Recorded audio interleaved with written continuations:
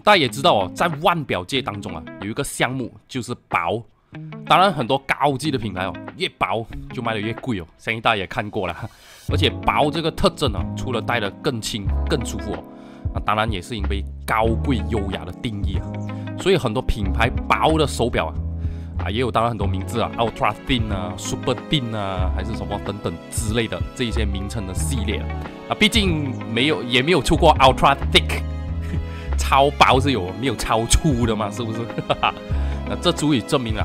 薄这个功能哦，在表界一直都是有话题的存在啊。当然，最好证明就是这些这几年哦，啊几个品牌啊，甚至宝格丽啊最有名，大家也知道哇，经常都在哇把薄做到极致，做到顶级啊，啊打破非常多的世界纪录哦。你比我薄，我比你更薄 啊。要做到一款表薄哦，不是在于把表壳做小那么简单就可以了。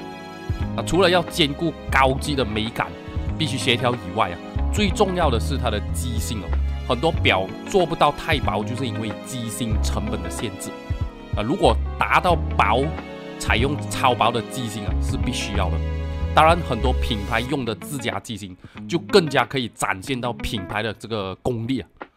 机芯的设计美不美和性能耐不耐用啊，也是必须去兼顾到啊。不是说做的薄就完事了那么简单哦。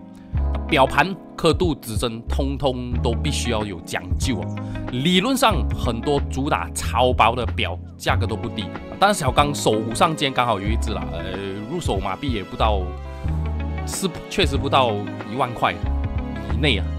啊，这种就是美金在两千左右，哈，就可以玩到了这一种二手市场上可以找到哦高级品牌、有历史的品牌哦，大品牌、出名的品牌哦。